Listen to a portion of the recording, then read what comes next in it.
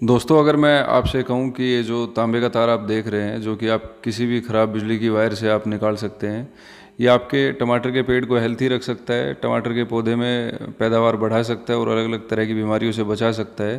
तो ये बात सुनने में आपको अटपटी ज़रूर लग सकती है, लेकिन आप आज इस वीडियो का एंड तक ज़रूर देखिए। मैं आपको एक्सप्लेन करूँगा कि कैसे एक नॉर्मल सा तांबे, यानी कॉपर का जो तार है, आपके टमाटर के पौधे की पैदावार बढ़ा सकता है और बीमारियों से बचा सकता है। मैं हूँ नरेश, आप देख रहे हैं अपना favourite gardening channel Birds of Happiness तो चलिए दोस्तों, शुरू करते हैं आज का वीडियो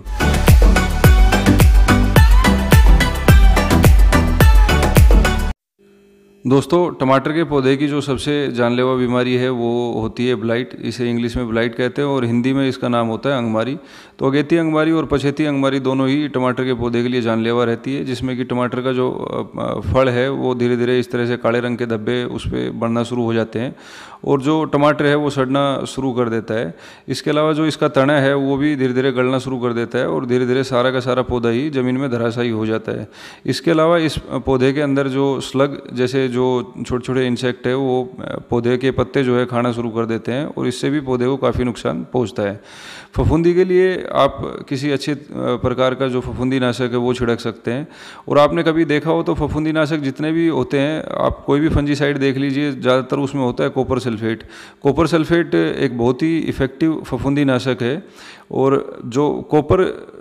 जो तांबे का जो तार है, ये इसमें जब रस्ट लगता है, जैसे कि अगर आयरन के अंदर रस्ट लगता है तो उससे ऑक्सीडेशन जब आयरन का होता है तो उसी तरह से तांबे के अंदर भी जब ऑक्सीडेशन होता है तो इससे कॉपर सल्फेट बनता है। तो आप कोई अच्छा फफूंदी नाशक आप अपने पौधों में छिड़क सकते हैं, लेकिन आप काफ़ी ऑर्गेनिक तरीके से अगर टमाटर के पौधे अपने गार्डन में उगा रहे हैं तो मैं आज सजेस्ट करूँगा आज आपको कि आप कोई फफूंदी नाशक छिड़कने की बजाय जब आपके पौधे काफ़ी छोटे छोटे पौधे आपके हो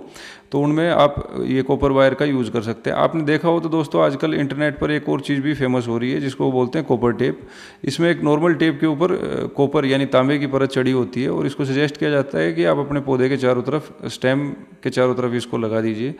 तो आपको क्या करना है दोस्तों आपको कॉपर का वायर लेना है और इस तरह के छोटे छोटे तीन से चार इंच के छोटे छोटे टुकड़े उनके कर लेने हैं। अभी इस कॉपर का जो पीस है इसको हम इंसर्ट करेंगे इस पौधे के स्टेम के अंदर। इससे होगा क्या ये मैं आपको बताऊँगा। लेकिन सबसे पहले मैं आपको बता देता हूँ कि इसको आप, आप अपने पौधे में कैसे आपको लगाना है।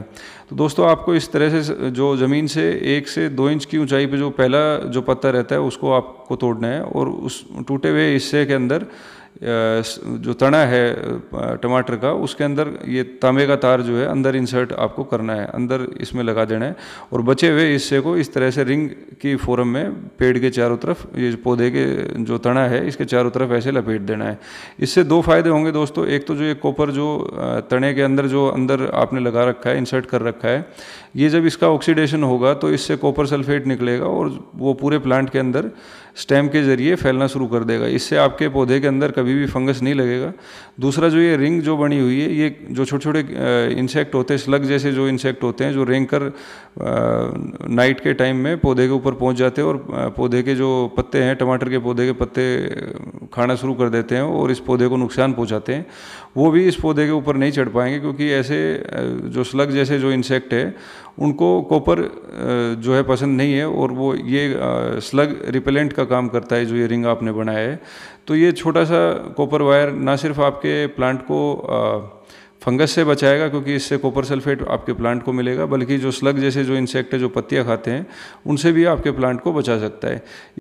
दोस्तों, ये तरीका काफ़ी अजीब लग सकता है, लेकिन ये काफ़ी समय से यूरोप, अमेरिका और इक्वाडोर के जो किसान हैं, वो सैकड़ों सालों से इस तरीकों, तरीके को इस्तेमाल कर रहे हैं, और वहाँ पर ये काफ़ी फ़ेमस भी है। मैं, मैंने ये तरीका इंटरनेट पर, मुझे मिला और मैं आपके साथ में ये जानकारी साझा कर रहा हूँ। आप इस तरीके को अपने गार्डन में ज़रूर यूज़ कीजिए और मुझे बताइए कि इसके क्या इफ़ेक्ट आपको, क्या रिज़ल्ट आपको मिले। मैंने भी अपने गार्डन में कुछ प्लांट्स के अंदर ये अभी करके देखा है और इसके जो, आगे जो फ्यूचर में रिज़ल्ट होंगे वो मैं आपके साथ ज़रूर शेयर करूँगा कि किसी प्लांट में, जिस प्लांट में हमने कॉपर वायर यूज़ किया उसमें और जो जिसमें कॉपर वायर यूज़ नहीं किया उसमें क्या डिफरेंस था और क्या फ़र्क हमें मिला है, ये जानकारी मैं किसी अगले वीडियो में आपके साथ ज़रूर साझा करूँगा। आज का वीडियो कैसा लगा ज़रूर आप हमें बताइए कमेंट करके। इस वीडियो को लाइक शेयर और नए व्यूवर है तो चैनल को सब्सक्राइब करना बिल्कुल भी ना भूलें। धन्यवाद।